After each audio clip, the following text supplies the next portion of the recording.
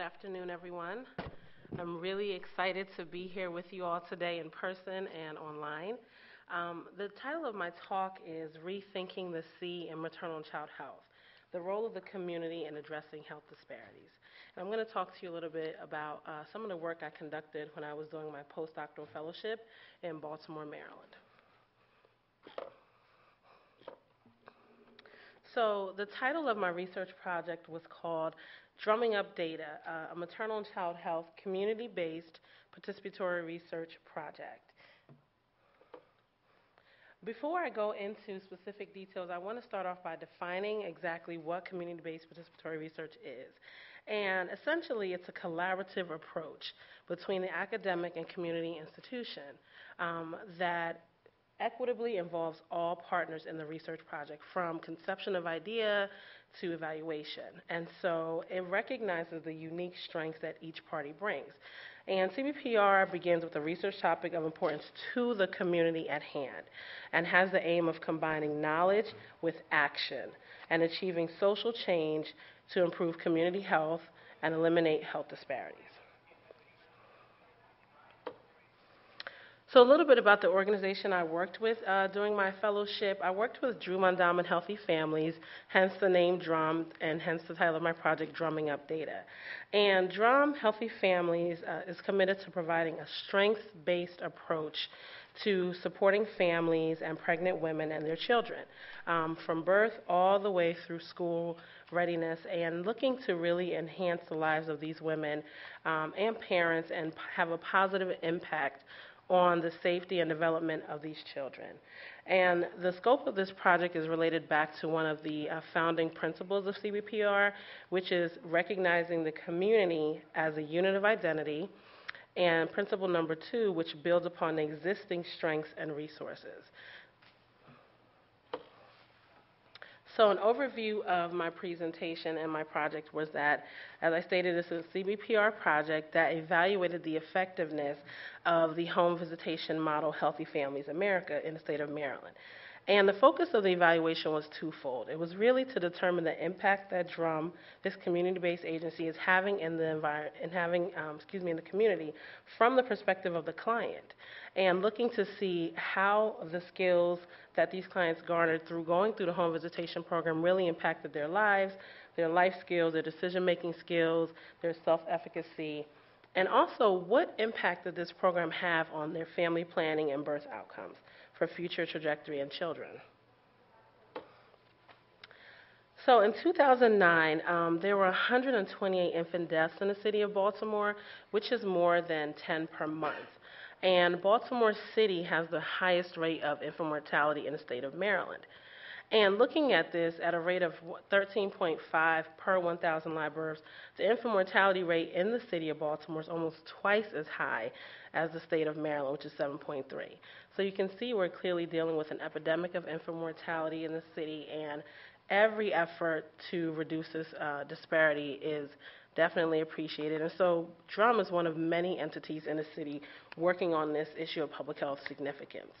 Um, and 60% of Baltimore's 10,000 births a year are considered to be high risk due to poverty, previous birth outcomes, and other risk factors that the women and their families are facing. So, just to paint a little bit of a picture and some background um, as to what is going on in the city of Baltimore with regards to infant mortality. So, looking at some data here, we have the state of Maryland uh, rate of preterm birth, which is defined as the birth of a baby before 37 weeks. And we have Baltimore City's preterm birth rate. We have some similar communities within the city of Baltimore that DRUM encompasses as far as their geographic catchment area. So I wanted to show that to you all. I don't know if you guys can see the numbers, but um, this looks at the low birth weight of the city of Baltimore as it compares to the state of Maryland. And we know that low birth weight is defined as the birth of an infant less than 2,500 grams. And so you can see Baltimore has extremely high rates of infant mortality. When you look at different neighborhoods within the city, um, the disparity is even greater. So this study was a two-part study. Uh, the first part was a series of focus groups. Like I said earlier, I really wanted to gauge the effectiveness of the program from the perspective of the clients. And so I conducted a series of focus groups with particular stakeholders, uh, including women who have graduated from the home visitation program, women who were currently enrolled in the program at the time I did the study, um, women who started the program and did not finish. I wanted to know what factors mediated that outcome. Male partners, because I feel it's very important to have men in the conversation when you're looking at families and pregnancy and the role of men as sources of social support for their pregnant partners and also uh, the family support workers themselves who actually delivered the intervention and were the ones going into the homes and providing services for these women. So the inclusion criteria was that you had to live in these particular neighborhoods in, in Baltimore that Drum encompassed, and they had to have been in the program in the past five years at that time, so 2007 to 2012. And the study setting took place at the actual nonprofit headquarters. The second phase, or the second part of the study, was an observational study where I looked at just gleaning some um, quantitative data from the women and looking at only the women who've graduated from the program to determine what impact has the program had on their lives now that they've had a chance to go through the entire curriculum, implement some of the skills, and um, look at some of the things that they were exposed to and how that made a difference in their life. And so the inclusion criteria for that was again women living in these neighborhoods and women who have been in the program 2007 to 2012. So the, fir- the first phase phase was a series of focus groups, as I stated, and um, some of the domains that I wanted to look at were how is participating in the Drum Home Visitation Program influenced your life? And then I had a series of subset of questions related to that main question. And then the second one was a short quantitative survey that the women, um, was, it was self-administered, looking at different domains, such as their family planning outcomes, the receipt of prenatal care, um, birth outcomes, their self-efficacy. Do they feel empowered to make positive impacts um, regarding their children, their families, their career trajectories as a result of the knowledge that they were exposed to in this home visitation program. So the first phase was, was qualitative data, and I analyzed that just verbatim, looking for major themes that emerged, um, doing selective coding, axial coding. And then the second phase, which actually included some quantitative and descriptive statistics, was analyzed using SPSS. So here are some of the results that I pulled out from the women and the men um, qualitatively. And so, what are some of the strengths of the organization? That was one of the questions I asked. And they said, Drum teaches you how to be patient when you're dealing with your children. So, very clear life skills that they were exposed to. I like how the FSW or family support worker um, asked about me as well. That's from the male perspective. They even helped me to find a job. So you see, this organization is really looking at the family as a holistic um, approach to it and looking and seeing, okay, we have the male partner. How can we make sure that he's included in the conversation? How can we make sure that his needs are being met as well? Um, so Drum helps me with housing, shelter, resources. Okay? The family support workers love the work and the clients, and they do not get paid a million dollars to be here. That theme came across, and as many of you know, in nonprofit management, it is hard to sustain and grow programs, um, particularly in this cash strapped situation that a lot of them find themselves in. But the women and the family support workers were very committed to the work, and the clients got that. That resonated with them. Uh, when I first started here, I didn't have a place to stay.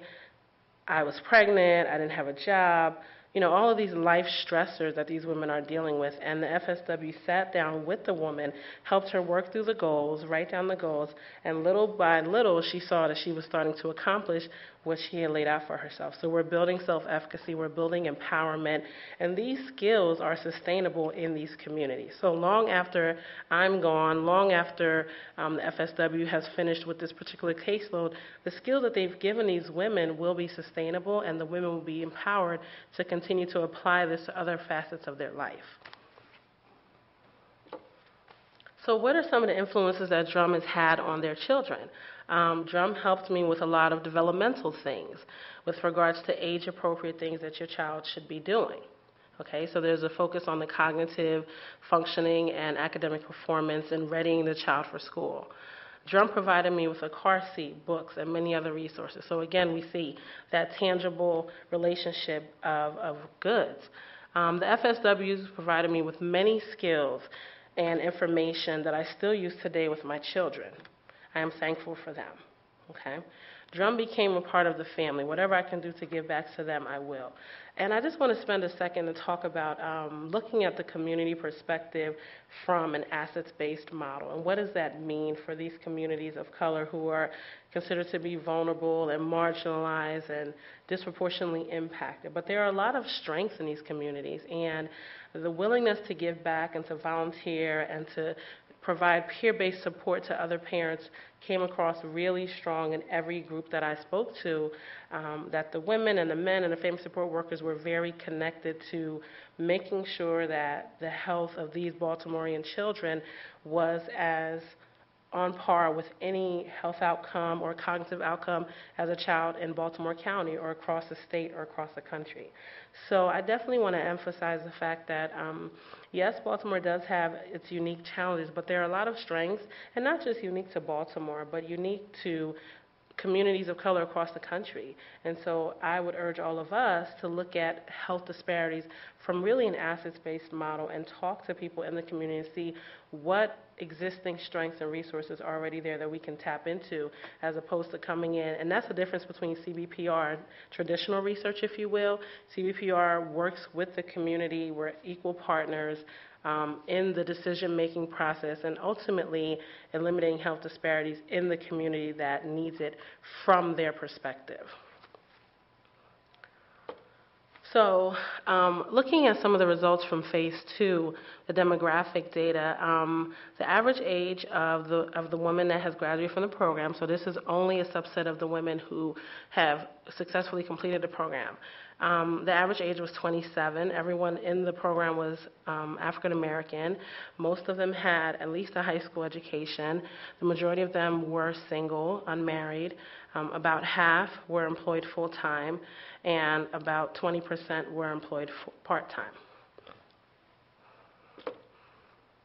So, looking at um, the total number of births in this population, so again, this was a subset of women, um, more than the overwhelming majority of them had normal birth weight babies, which is defined as at least 2,500 grams. And so we see a subset, almost 8%, 7.4% of them actually had low birth weight babies.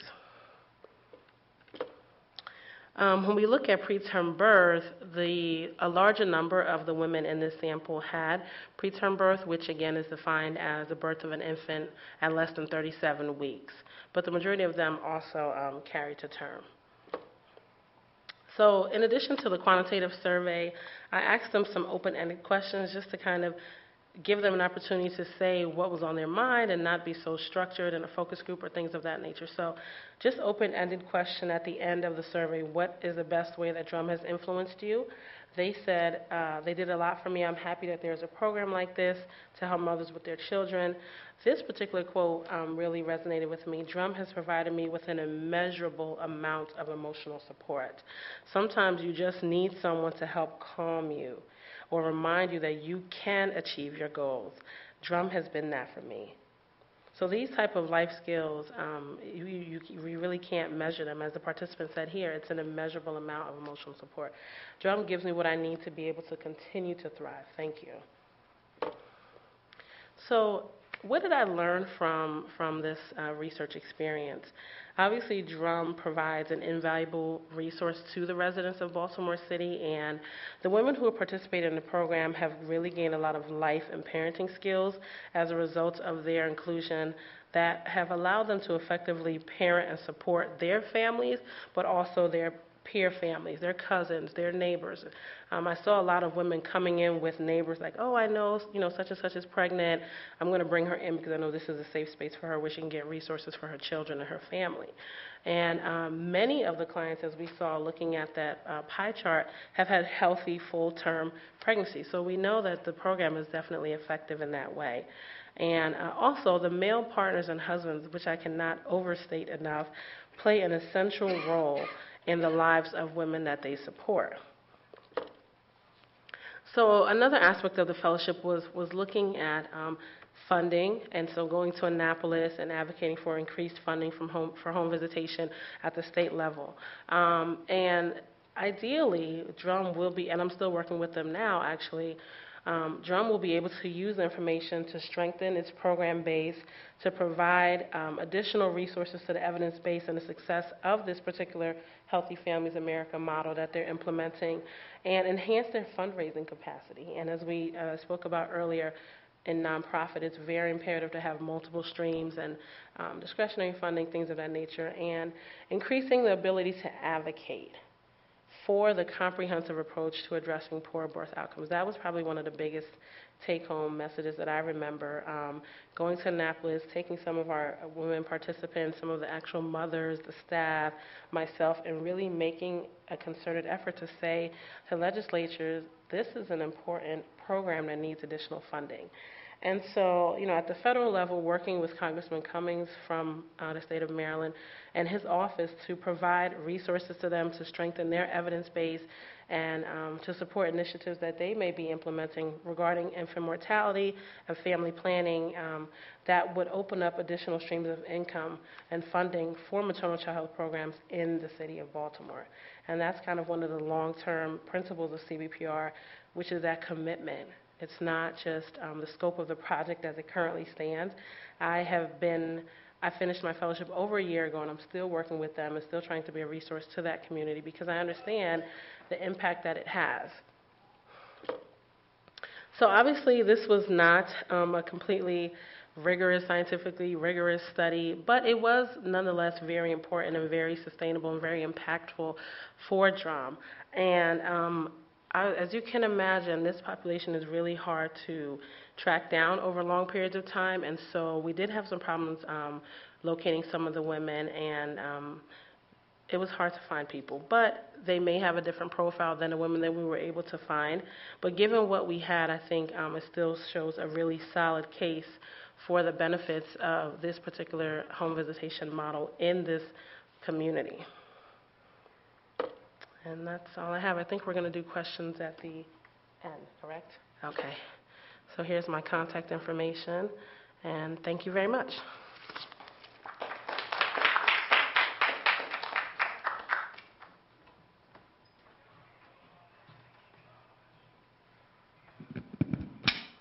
Thank you for your presentation. Now we are having the second present, presenter, and then at the end we, have, we are having questions.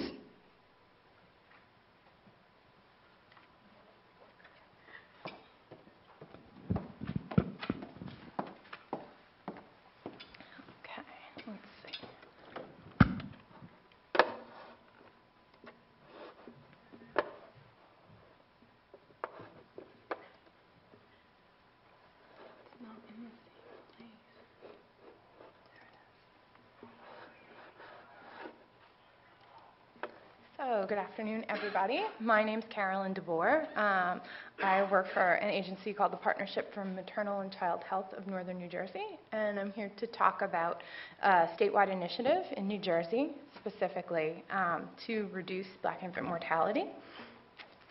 Um, we'll just do a quick outline so we all know what's coming up.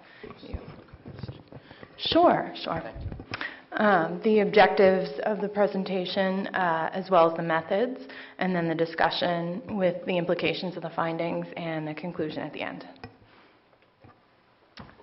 So, um, a little bit about the initiative itself. Um, this time period was uh, the early mid 90s, and New Jersey was in the media for some not very good reasons. Um, there were uh, incidents of racial profiling that had made the news um, on the Turnpike and Parkway. Um, there was a lot of media focus on that. And the budget situation in the state was very different from what it is now. There was a little bit more money floating around. So at that point, the state was willing to, you know, devote some resources to this initiative. Um, there were um, it was really a groundswell. I think it was a little bit of the right place at the right time. This is something where um, I think uh, the state government had seen that it was it was time to do something. Um, in terms of the strategies, we'll talk a little bit about the methods that surrounded the initial development of the initiative um, and how those methods can be applied to other locations. Um, we'll talk about the lessons that were learned um, in developing that initiative and the challenges that we went through in trying to um, push it forward and the successes that the initiative has had since then, uh, since it's been mm, almost 10 years now, more. So, um, and uh, a little bit about the implications. Um, there are some some uh, possibilities for public policy, um, things that relate to women's studies specifically, and uh, you know things that we can talk about within the Black community. Um, there's a piece to play for everyone, and the conclusions at the end.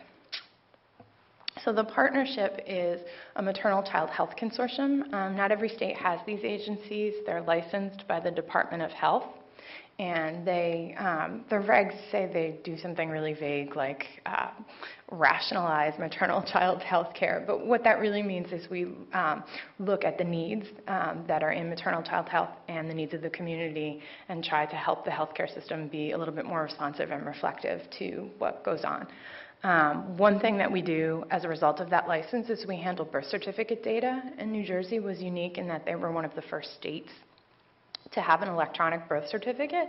Um, that was developed in, I want to say 1993 or 1994, and it's got 440 some indicators, so it's not just what you see on your birth certificate, it's mom's health history, and um, there's a lot of information on there. So having access to that data um, really and being asked to monitor it put us in a unique position to look at um, you know the different indicators and to look at disparities um, in the way that babies were being born and the health of the mom and the health of the baby.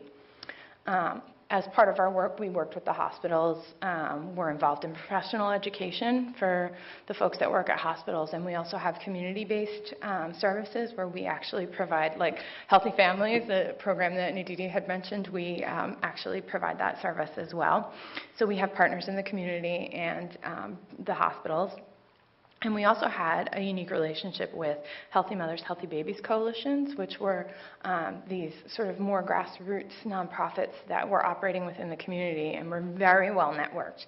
Um, all of the people that were kind of change makers, that were whose opinions were respected, business owners and you know nurses who'd been you know working someplace for a really long time, just just folks that were really in the trenches, uh, were part of Healthy Mothers, Healthy Babies, and the organization itself had a commitment to social justice, which I think is something that um, can't really be underestimated as an important part of trying to champion these initiatives. Um, you know, you have to have the passion to make make things um, important first because it's not always an easy road. Um, so I'm sure everyone's fairly familiar with this issue, but um, there is a huge disparity in infant mortality in terms of race ethnicity. And um, New Jersey's data uh, that was easily available went back to 2000, but it was actually higher for everyone before that. Um, and the top line up here, let's see, um, along here is uh, black non Hispanic moms. And uh, these are the rest of the groups. Hispanic moms is the blue line, um, and white non Hispanic down here and Asian through here. So there's an enormous disparity, and these are based on statewide numbers, so um, they're pretty reliable. You're looking at on the order of, um, I want to say it's about 150,000 births for the whole state and several hundred um, incidences of infant mortality. And when you actually look at fetal mortality, I didn't bring those numbers, but the disparity is even greater. So these are just babies that were born alive and then died during their first year um, for moms that had experienced a miscarriage or fetal loss, the, the disparity is even, even higher. So, um, what had happened? Uh, the partnership um, had actually issued a white paper talking about um, the disparity in New Jersey's infant mortality rates. Um, we had our hands on this data. It was something that we thought really needed to be looked at and addressed. Um, and since we were working with the birth certificates, it was, um, you know, an immediate uh, way to talk about it, to look at that data. Um, the governor at the time, um, Governor Whitman, uh, actually, the office contacted the partnership and asked to meet with us and talk about the white paper. Um, and we got the health commissioner involved as well. And there was um, the decision to convene a blue ribbon panel. And that panel was 35 different folks, um, healthcare professionals and consumers, people that had all different uh, backgrounds. But one thing that was very important with that panel is that um, you know, the, the black and African American community made up the majority of the panel. We wanted people to have a voice um, in what was going on and make sure that um, the mom's voice was heard because there had been a lot of research done from a clinical perspective, but I think it's important to get at what the moms were experiencing. So um, at this point, I'm going to turn it over to Ilise Zimmerman, um, who is my supervisor and coworker.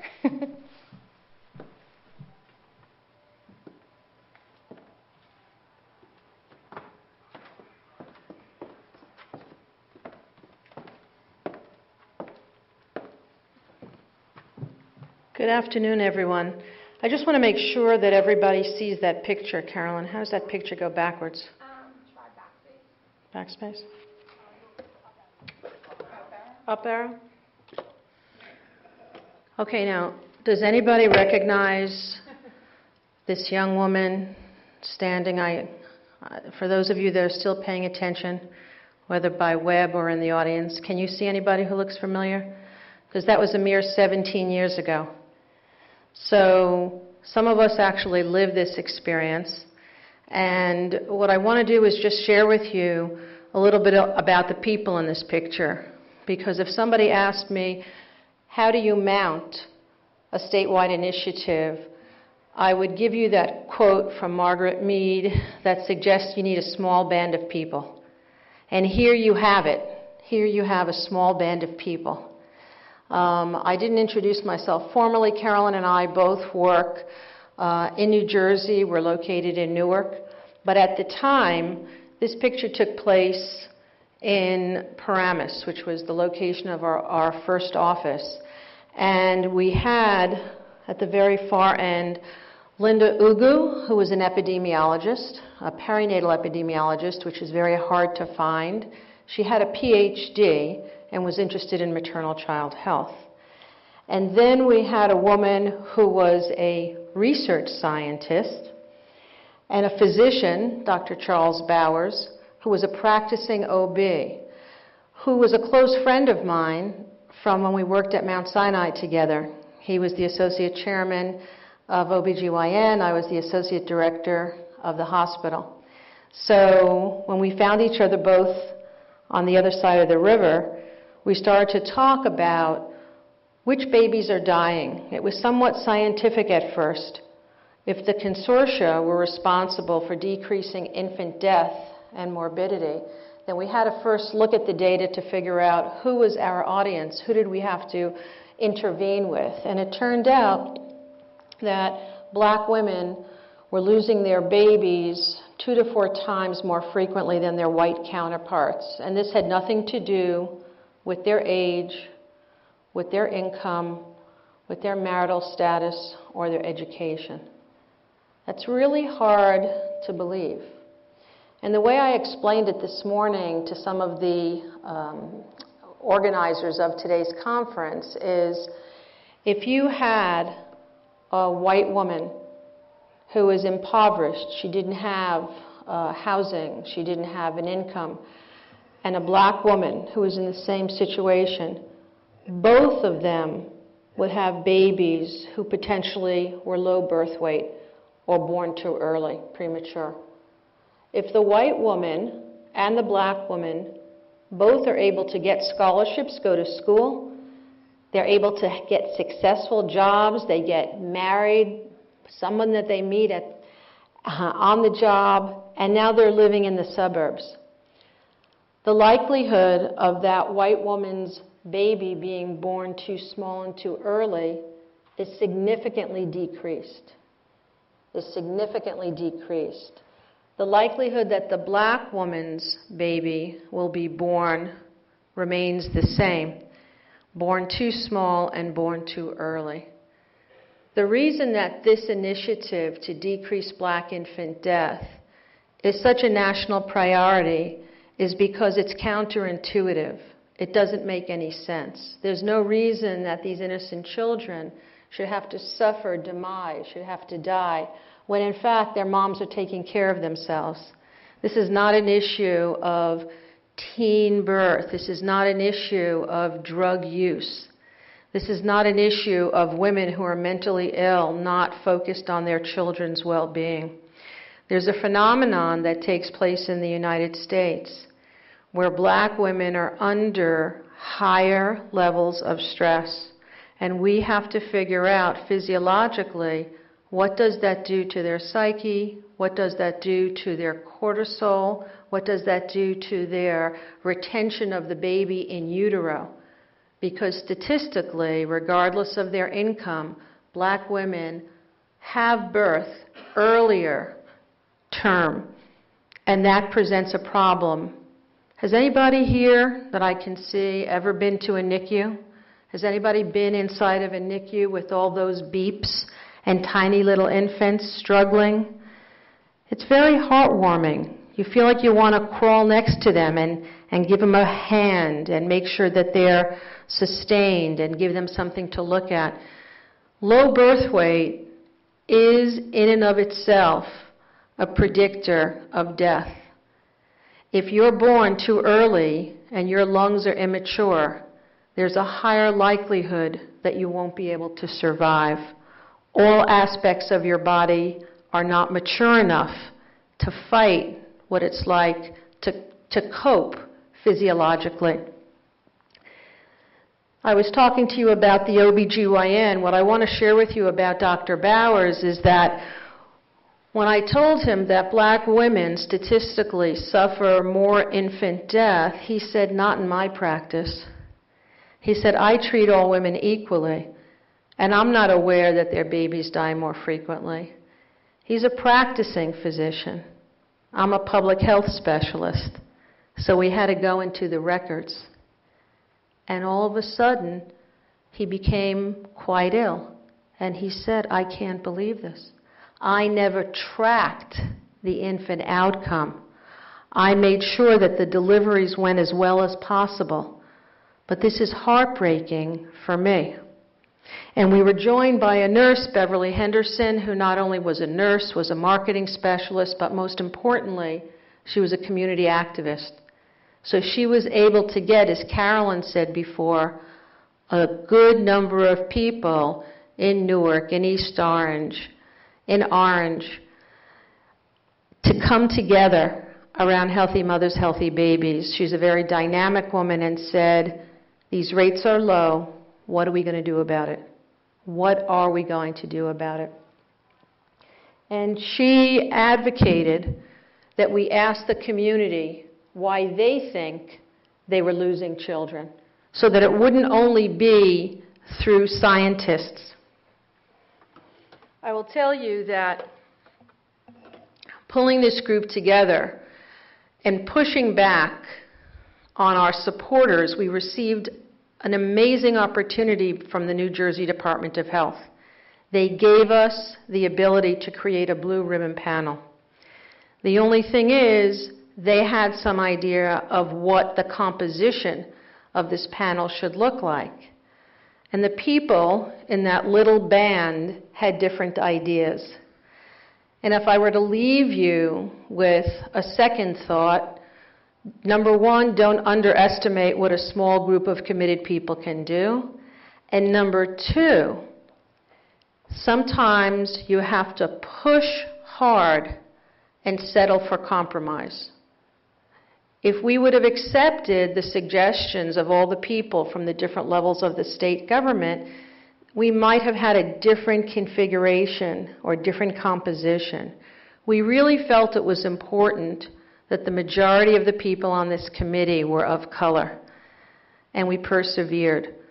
The Department of Health uh, suggested that we have three times when women and men could speak up there were women who came wearing the t shirts of their deceased children to talk about what it was like to lose a baby.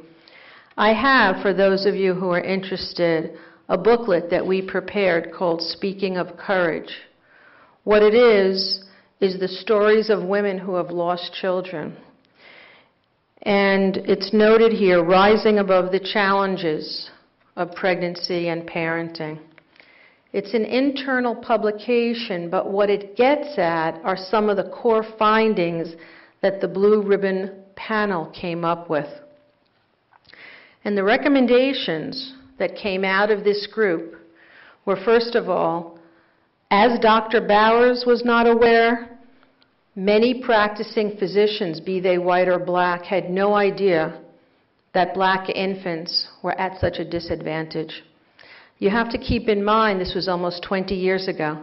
So there's been media, and now APHA has adopted the elimination of racial disparities as a priority. That wasn't the case in 1995. If you looked at the regulations of the state of New Jersey, we were supposed to look at geography. We were supposed to look at mom's weight. There was no mention of race. So, one thing that we did was that we created a huge public awareness campaign so that physicians, nurses, respiratory therapists were all told you cannot treat all people the same. You need to be particularly attentive to women who are at high risk. And if you are black, you are at higher risk regardless of all the factors that I mentioned before. Secondly, education. You know, we received quite a bit of resistance from black professionals who thought that this higher level of black infant death was racist propaganda. So, as I have shared earlier with some colleagues, there were pickets around the places that we were meeting. White girl, go home. We don't want to hear what you have to say. Because I wasn't black, there was a tendency not to believe the statistics. And so I would show up with the MMR report, you know, the morbidity and mortality from the CDC, because I was new to New Jersey. As you can hear, I'm from Brooklyn. So what happened was that it took a long time for people to trust us that what we were saying was so, and that's where the education came in. The education was so significant that we petitioned the medical examiner's office of New Jersey so that every physician who was licensed between 1997 and 2000, in order to get your license as a physician, you had to take a course in cultural competency. Now, some people really resented that. Some physicians said, Are you suggesting that I'm not competent? And we had to be very careful with what we said because we need physicians to treat all patients with respect. But we also needed the physicians to recognize that if you presume that you know what this woman's life is like, you're likely to bias what you're suggesting. So the educational programs took place both at the community level there were women who didn't know where to go for pregnancy tests, and guess what? If you're not aware that you're pregnant and you're not happy when you find out that you are pregnant, you have a higher likelihood of losing your baby. So, ambivalence is, in fact, a risk for that baby. So, we need to make sure that women knew how to get access to family planning, access to prenatal care, we needed to hear what the community concerns were. I don't know as much about the New York hospital resources, but in New Jersey, I testified at seven different acute care hospitals that closed within a period of five years. Seven hospitals that had chains around them. People who were trying to get their medical record, who didn't know where to go for prenatal care people who had gone to hospitals that were not religious institutions who are now having to be rerouted where they couldn't get access to family planning, they couldn't have a termination of pregnancy. These were all issues that we encompassed in this Blue Ribbon Panel report, which, by the way, we will stick around, Carolyn and I, for anybody who wants access to this information. I would say that Lesson number three we generated attention and resources to this problem such that the Department of Health gave us funding to publish a book called Generations, which is written for black women specifically about how to take care of yourself. We developed a petals packet for black women to track their pregnancies and learn how to count how many kicks your baby was having so that you would be sure if the baby stopped moving that you wouldn't be embarrassed. You would immediately reach out to your physician or your midwife. We wanted to make sure that we retained the partnership because I'll tell you an interesting story. If you talk about black infant mortality, other cultures will come over and say, why don't you have an initiative to decrease East Asian infant death? And why don't you have a basic minority infant mortality initiative? Because you know, Puerto Rican babies also are born too small and too early. And our feeling was that we were concerned about death. Black infants die significantly more frequently than any other race. And if we don't keep focused on the group in highest need, then our efforts would be diluted. So, keeping the partnership was a critical feature of success. This was interesting. Um, the Department of Health was willing to allow us to say that there were psychosocial factors that were likely to contribute to racial disparity. Does anybody here have any idea what psychosocial factors are? Yes, sir.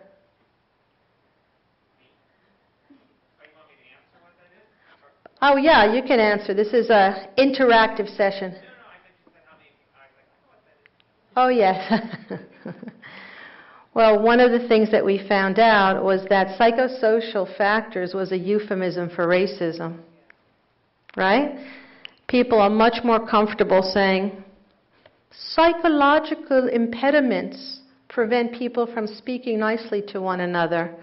And it was a big challenge to try to get the government to allow us to publish that racism, in fact, was causing specific women to feel higher levels of stress. And I give credit to the New Jersey Department of Health and Senior Services because although they were uncomfortable, they let us publish the report as such. And that gave us the legs to walk into the Office of Medical Examiners so that the healthcare environment could become more sensitive to the needs of black women. And providers could take courses in becoming more culturally competent. I remember seeing one little pamphlet that said, if you're black and you're pregnant, be sure to tell your provider about your HIV status. That was in the first sentence. You didn't even have a chance. In terms of behaviors and lifestyle, um, I think it's interesting to realize that it's not just the white population that has to be sensitive to black women who are pregnant, but black men and women need to be supportive of one another. That there's a lot of internal bias and perception of less than worthiness and acceptance of poor outcomes. We have a quote in that booklet where a black woman stated, If it's not hard, then it's not black as to suggest that blacks lead hard lives, and that was what she believed was in her future. Therefore, if she were to lose her baby, that would be nothing strange because her aunt lost her baby and her sister lost her baby, and it was known in the church that miscarriages happen. So there was almost an acceptance as opposed to a defiance or a motivation to take action. We recognized, and many of you who are in healthcare know, that if you ask women to go to the doctor on 125th Street and then go down to 116th Street to get their sonogram, and they have to speak to the genetic counselor at Columbia Presbyterian on 168th Street. If they're not feeling well, they can't navigate that.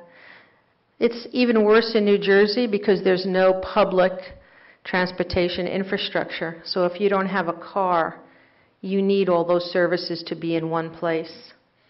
We also, as I said before, try to get physicians and nurses to recognize that black women who had miscarried before were in a particularly high risk category and they needed to have special attention and they needed to be encouraged not to feel less than worthy that they had lost children because it's a stigma.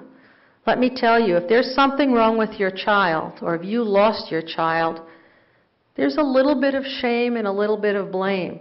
And you need to give women the support in return so they have the strength to carry on. We talked, and again, 20 years ago, the thought of an electronic medical record was a dream. Now it's much more of a reality. But issues, issues I'm a hospital administrator.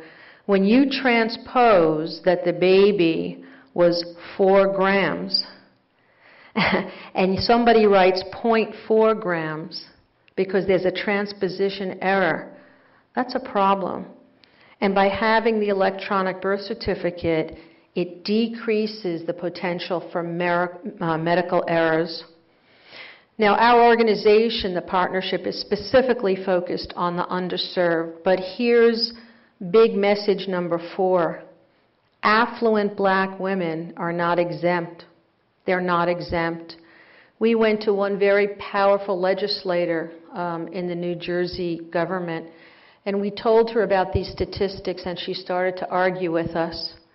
And she said, I went to law school, and I'm in wonderful shape. I go to the gym, and I keep my weight down, and I'm not susceptible to what you're talking about.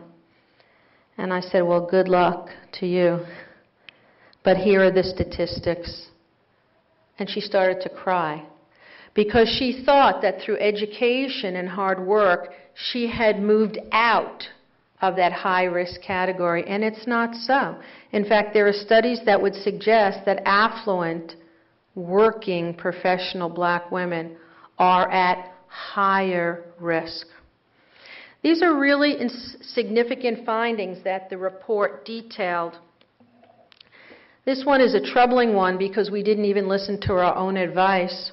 When you get multiple uh, hundreds of thousands of dollars to put into an initiative, if no one says you need to have an evaluation from the beginning and you don't start off with one, it's really hard to catch up, up to it in year five. So, anybody who ever thought about lobbying for funds, the evaluation strategy is critical because Here's lesson number five the Black Infant Mortality Center. That was the result of this finding. We were able to mount a center exclusively focusing on research and, and publications focusing on the loss of life in the black community. It is no more. It is no more in New Jersey. There's a handful of money that's distributed through the state to look at reasons that are currently causing black women to lose their babies.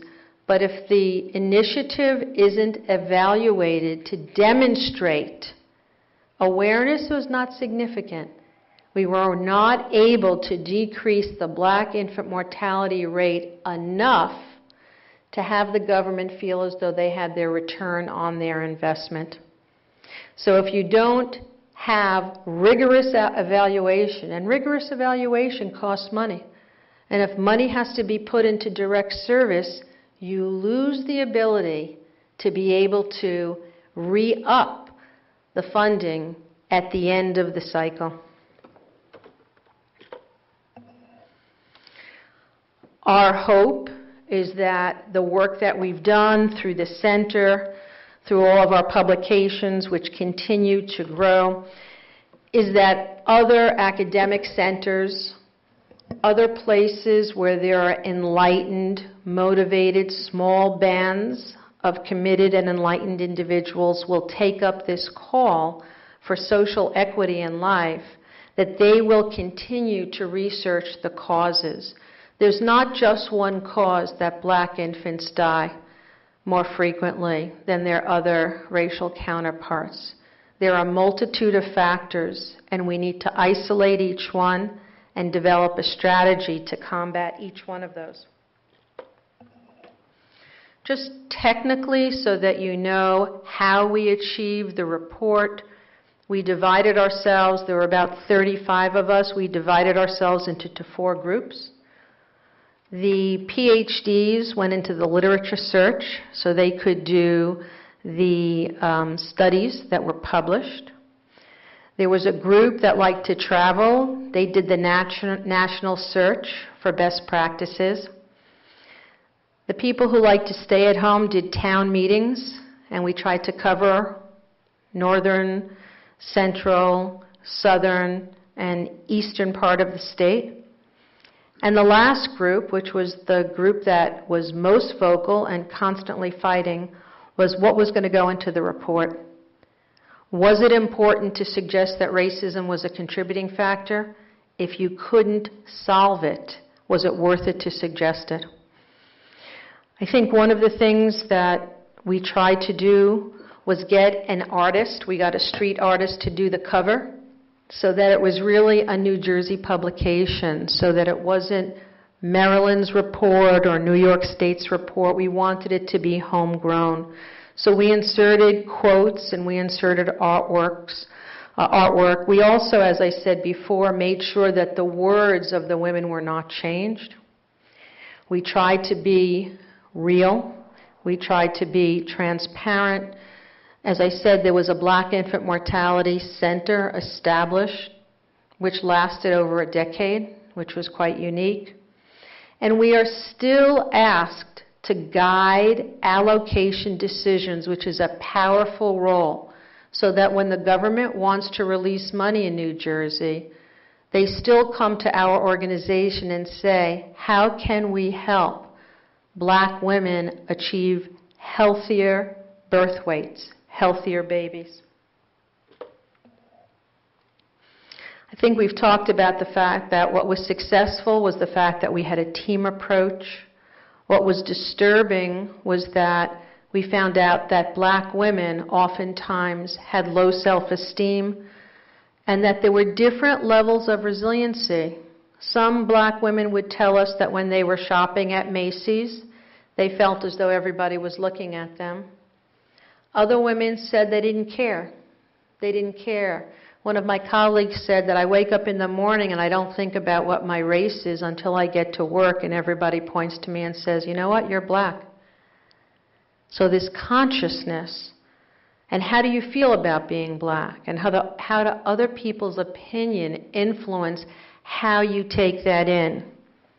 Was something that affected your mental health.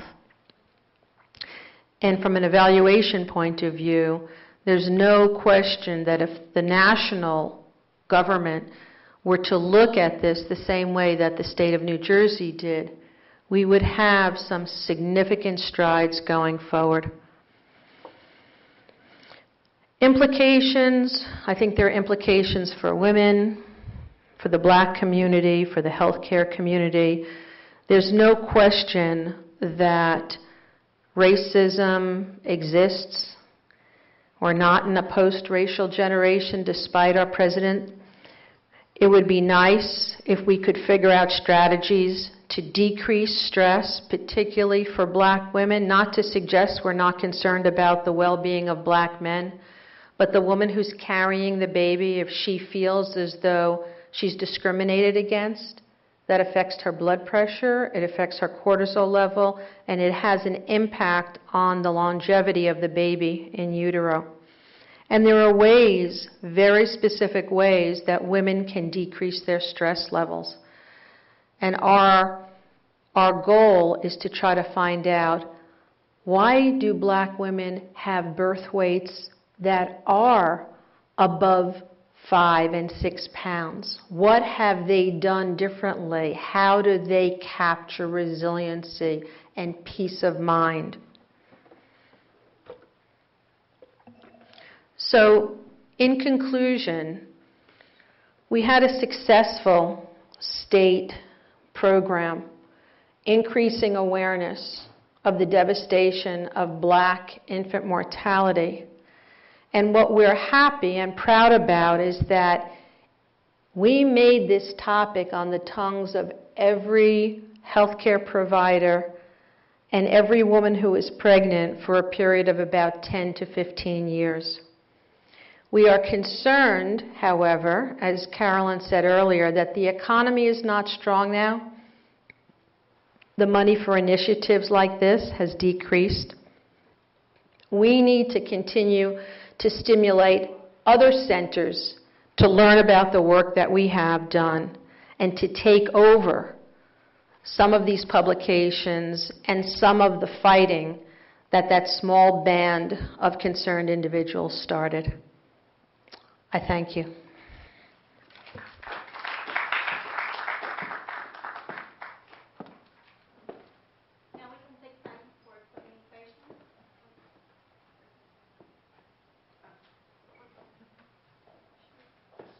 Use the handheld microphone there, and there's a switch to turn it on.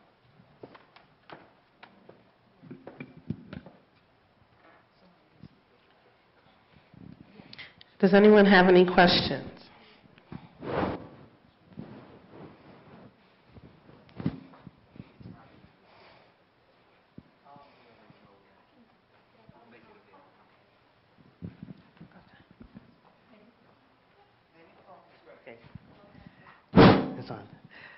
Okay, even though we are in an economically depressed time, and you have learned, you both have learned some lessons from what you have done your programs, how do you, what strategies have you thought about to empower the community to take this on and make it part of its ongoing agenda?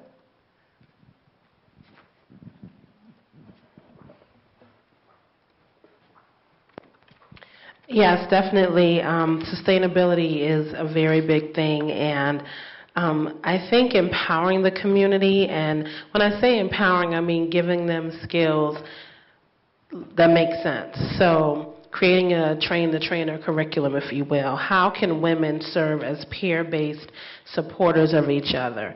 They don't need me, they don't need um, outside funding and research academicians, but giving them the tools to train each other. I think that's one of the best things I can do that I'm actually still working with them to complete a, a model or a curriculum where the women will train each other and support each other in that model, and then they'll be ambassadors and go out and recruit more women and bring them in. So it's like a snowball technique, if you will, but it's sustainable and it's a peer based model. So that's one of the things that I'm working on.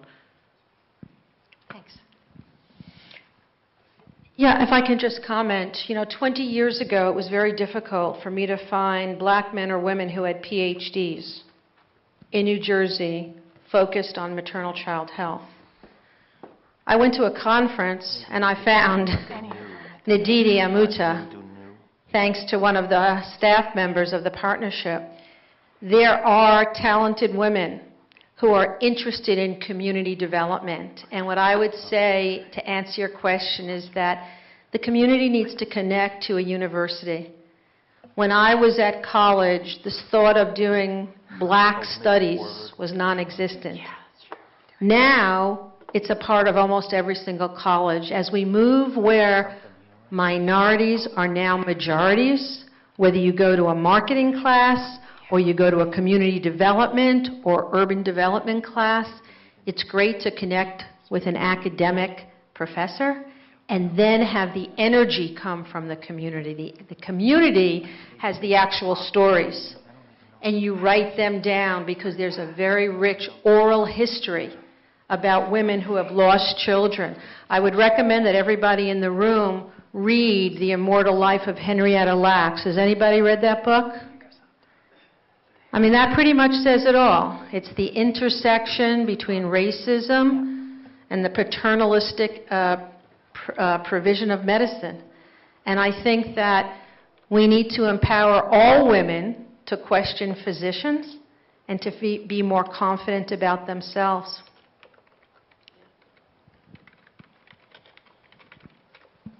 Yeah, I want to thank you both for your wonderful presentations. Thank you. Dr. um, Amutah. uh, I, I, I, I- I meant to, is it Dor? Yeah, Carolyn? Carolyn DeBoer. Oh, oh, oh, okay, I'm, I'm- I'm mistaken, there's three, okay. Um, Well, my, my question has to do with, um, uh, in, in, well, I have two questions, one for each of you. Okay. And um, I'm sorry, but I, I just want to address you by name, and I just wanted to remember your name. My name? Yes. Ilise. Ilise, yes. Um, And, um, you know, you talked about, uh, I I didn't, I I wasn't sure if I was, uh, if I heard what was the, um, where the research um, uh, ended up in terms of why these women of color who were, you know, living, um, you know, uh, in the burbs, they were not um, women that were, you know, for, particularly for some of the women that I work with that are uh, teens and that are living in shelters and moving from one place to the next. Why did they have the same um, maternal outcomes? I'm not sure if I heard um, you know, what your, your, your, your research may have yielded. Uh, So if you can, um, if you can uh, shed some light on that. Um, And, and for you, Dr. Amutah, um, um, my question, you mentioned, it- you mentioned the Healthy Families Program, which I think I know which one you're talking about, and you said this was, it was the only evidence-based um, program in, in, in Maryland. And so I guess I wanted to, I guess my, my, my question would be, uh, how would that apply then to, um, to programs that were not evidence-based? And, and, and would, would working with such, such programs, would that, would that turn that around? I mean, so much of the money is drive, you know, this evidence-based stuff, and obviously, you know, it's not always easy to, um, you know, to, if, like she said, if you haven't started this evaluation program from day one, you know, to be able to uh, quantify all of these results and all of this good, um, you know, the good progress. So, what, you know, how would it would would the type of thing that you did um, apply to uh, another program, and would that would that substitute or constitute evidence-based? Okay, you have a lot of questions, which I appreciate. So I'm going to answer that, then I'll pass it over to Ilise.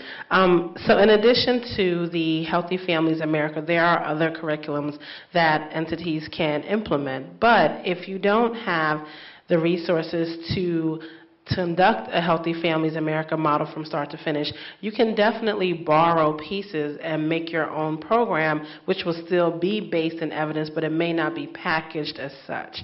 So, for instance, if there are components of the Healthy Families America model, maybe parents as teachers, the Nurse Family Partnership, and creating your own partner, your own curriculum that is evident of the community that you're working, that's reflective of that particular community, I would say that that's just as good as an evidence-based model that has been vetted and pilot tested. But I, I can talk to you further about some ideas, but that's the best thing that I can think of at this time. Does that answer your question? Um, you know, I'm sort of somewhat new to the to the field and to some of the work. Mhm. Um, my background is more on the policy side and the political stuff. Okay. But um, so, w- you know, is there a, a prescribed, um, you know, group of, of who is determining the evidence based, and uh, what's the authority there? I'm also a layperson. Ndidi is a PhD, so let me see if I can explain it to you in layman's terms. When something is called evidence based, that means that some researcher or research team has conducted an evaluation very rigorously, so they've compared if you did this intervention, what was the outcome, versus if you didn't do this intervention, what is the outcome. That's where the evidence comes in. So, Dr. Amutah, as a young researcher, has just said you can connect or you can stimulate the growth of either a program that is evidence based or responsive to your community. And I, as a seasoned mentor of Ndidi, would say Google evidence based programs in your neighborhood because to be able to secure money Right now, the in vogue term is it has to be documented as working. In a tight economy, you don't have the luxury of mounting your own creative program. So, nurse family partnership, healthy families, parents as teachers, these are programs where universities have researched what the outcome is. And the outcome is that the child is either born healthier or that the, uh, that the concept of child abuse has been diminished. So you want to go with, my feeling is that you want to go with an evi- evidence-based program and make sure that women in the community know about these options, and if you're an advocate and a policymaker, that you direct people to continue to fund those programs because the results are found to work and they're generally accepted. And you don't have to fight constantly for funding. The funding will flow. When President Obama uh, announces that home visitation works, home visitation means people coming into pregnant women's homes, almost like the old fashioned nurse uh, visitors, the visiting nurse service. We're back to what was done in the 1940s and the 1950s, but now it's not just nurses because that's high labor cost. We also teach women in the community, and that's what Healthy Families is teaching women in the community to help their peers with strategies that are evidence based. So it's not just, I think you should drink milk, but here is the diet for a healthy pregnancy. It's more prescribed. You want to rebut that? No, I think that's great. But I, I want to make sure that answers your question. You did say, okay.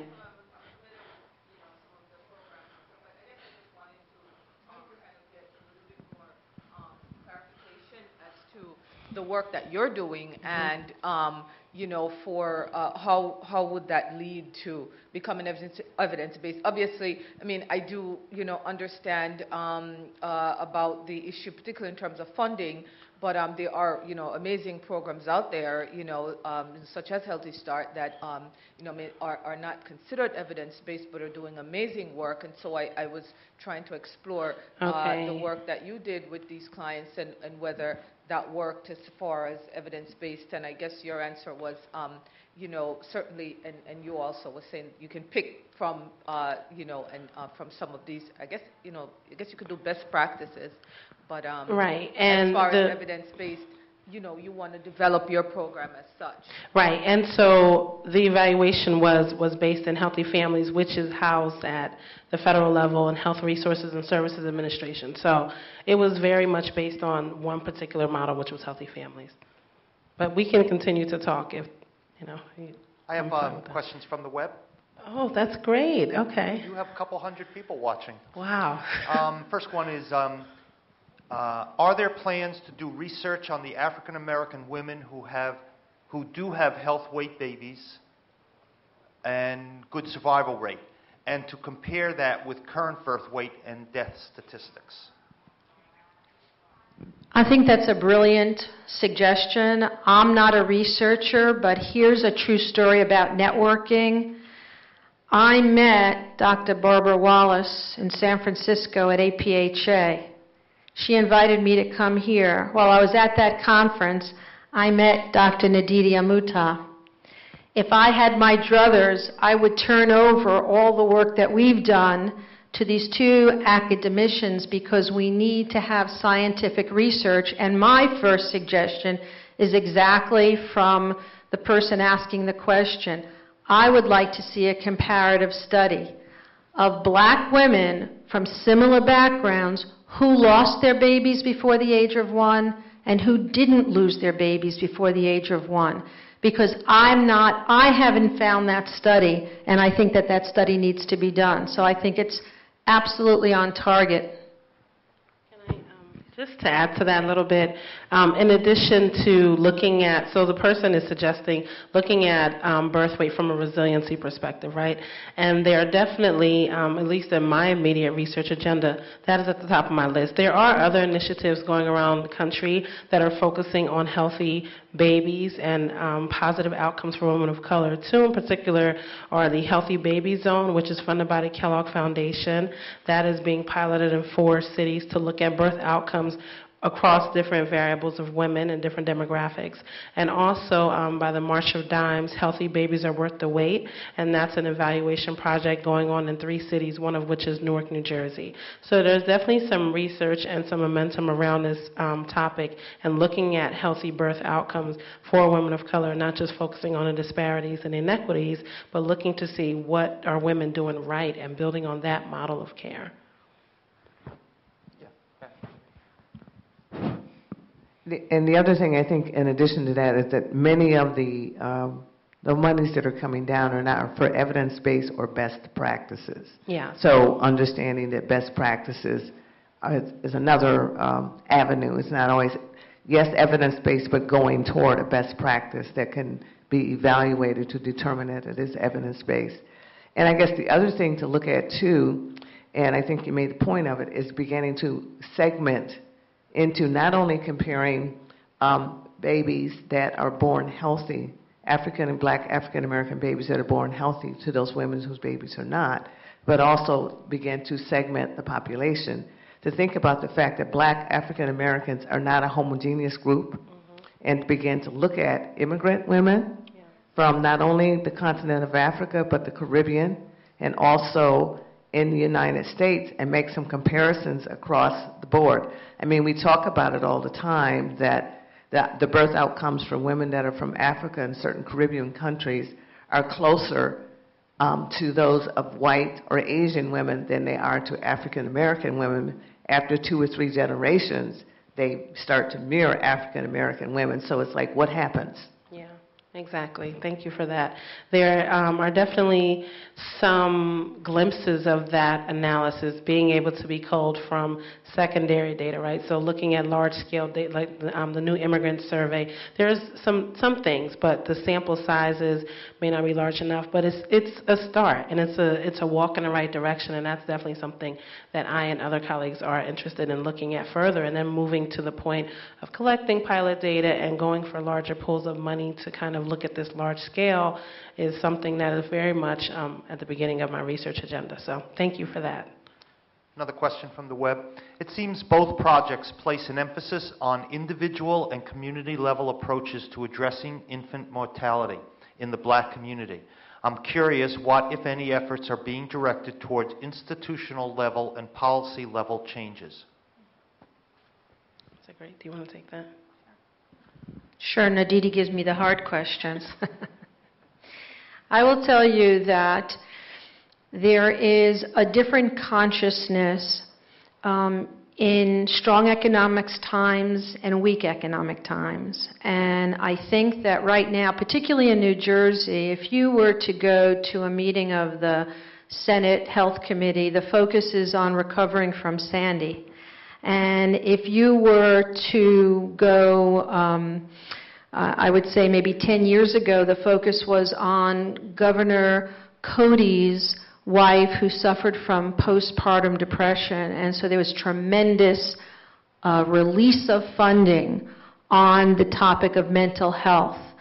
And right now, at least in New Jersey, it's somewhat quiet. We haven't had a strong advocate, and I guess my message is that you need to have a champion, whether it's a small band of individuals or it's a famous baseball player, you need someone to start being act up. And I think that the question about the legislature or the government, government is reflective of people's wills. So if there's not the political will to make a change, then you're not going to see it by your elected officials. It has to be a grassroots level or a very strong group of influential people to make change. Very well said. Another question. Okay. I enjoyed the presentations and learned a lot from you all. Do we know whether the higher IMR in African American women is due to higher distribution of LBW babies, or is it due to higher birth rate specific mortality among the babies? Birth, higher birth rate specific mortality. Um, no, I, I think there's no clear answer to that. It, I would say that it's a combination of many things that, that, that lead to higher IMR.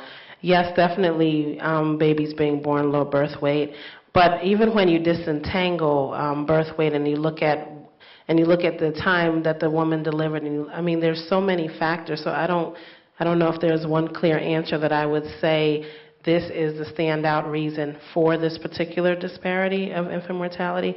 I'd say it's a combination of many things, but I'll pass this. So there is a methodology that was developed by an organization called CityMatCH, um, which works in maternal child health, and they uh, it's called perinatal periods of risk, and it talks about um, sectioning off the mortality that you see into um, fetal mortality and different periods of infant mortality, whether it was neonatal or post-neonatal, and looking at birth weight as well. And so it's a methodology for isolating at what point there is excess mortality compared to an index population. So in this case, you'd be looking at a black population versus, um, you know, maybe a white non-Hispanic population or the total population what they've found with that, and they've been using um, perinatal periods of risk in a lot of different places, is that um, it varies drastically. Um, we had a group that came in from Wisconsin, and they had found that the um, excess mortality there was mostly post neonatal. And CityMatCH will give you some suggestions. Maybe that has to do with things like sleep position or, you know, the environment that the, you know, in the household, that kind of thing. Um, here in New Jersey, it's difficult, well, not here, but in New Jersey, it's a little bit difficult to say because our numbers are not huge, um, but it's mostly, it appears to mostly be um, fetal mortality, which is babies that are born too early, um, you know, mo- uh, moms that go into labor well before the time where the baby would be viable. So it, it depends. Every population is a little bit different, and I think it gets back to the fact that there's not just one cause for this disparity. Please discuss any emerging interventions developed to address the impact of legacy of racism on the mental well-being of African American women. What can we do now instead of waiting for social equity to ameliorate? Ameliorate. Sorry. the problem. Um, so one thing that I've thought about um, are different uh, racial scales that we can use to measure the impact of racism. Um, two things, actually. So, looking at um, different scales that have been developed by researchers across the country to really try to get at perceptions of racism and um, to quantify that. But in addition to that, you also have um, opportunities for women to just talk about what it means to be racist. And you see that when you put women in racially charged situations, that their cortisol levels go up, their allostatic load is affected. So there's definitely physiologic responses to racism. But as far as interventions, um, I think that's a really good question. And there's, I don't know one in particular I can say yes, but I know that there are measures that have been developed and evaluated and researched, but I don't know of specific interventions that will focus on the impact of racism? We, we did hold one program called Reduce Stress for Babies Best. And if you're interested in it, you can Google Yvonne Wesley, W E S L E Y. She has a publication that talked about the outcome that if you take women, black women who are pregnant, and you teach them deep breathing, or you teach them journaling, or you access them into a yoga class. There are ways to decrease stress. And I think what's fascinating about the scales of racism is that, you know, Ndidi is black, and you may not know that, but I am not. And what's interesting is that she may be less hurt. She may be, her, her allostatic load, her stress level may be less if somebody says something nasty to her versus if someone says something nasty to me. And I think what's interesting, and this is what's very individualistic, is how do you as an individual, and I think this gets to the question about our emotional state of being, how do you handle the stimuli that's thrown on you? Whether you're black, white, male, female, if you're in an environment that's terribly stressful, do you recognize and do something about it, or do you just let it suck the life out of you? That's a very important individual strategy. And I think particularly women who are pregnant need to realize that they need to decrease their stress level because they're carrying responsibility for two lives at that particular point in time. Okay, thank you. Anyone else here in the audience? I think that the contact information is now available. Yes. And I just wanted Yeah. to say, Yeah, yeah, thank you to Thank you. We actually didn't know we were going to be on the panel together, but we collaborate. And Carolyn, who has been a tremendous source of inspiration for me to keep going. And we'll be happy to stay after if anybody has any questions, and thank you for your kind attention.